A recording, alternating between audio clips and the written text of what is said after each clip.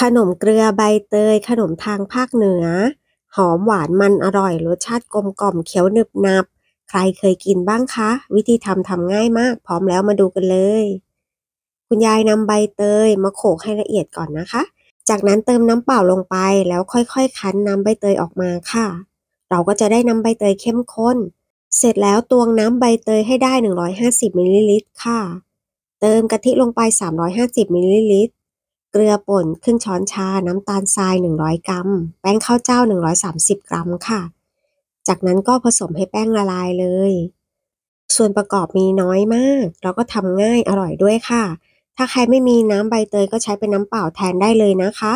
ผสมจนแป้งละลายดีแล้วเราจะนำตั้งไฟขึ้นกวนค่ะ กวนด้วยไฟอ่อนนะคะ กวนไปฝนก็ตกไปค่ะกวนจนแป้งเริ่มเป็นตัวแล้วนะคะ กวนต่อไปเรื่อยๆ จนแป้งสุกแบบนี้ค่ะ จากนั้นเราจะพักไว้ให้เย็น คุณยายก็มาเตรียมใบตองสำหรับห่อเลยนะคะ อันนี้จะทำเป็นเตี่ยวค่ะนำใบตองมาเจียกให้เป็นอันเล็กๆนะคะ จากนั้นนำมาต่อกันสองอันค่ะตักแป้งที่กวนไว้วางไว้ตรงกลางใบตองค่ะ แล้วก็โรยหน้าด้วยมะพร้าวขูจากนั้นก็ห่อใบตองเข้าหากันเลยค่ะ แล้วก็นำเตี่ยวที่เราเตรียมไว้ มาคาดทับอีกทีนึงนะคะ ใบตองจะได้ไม่หลุดตอนที่เรานำไปนึ่งค่ะ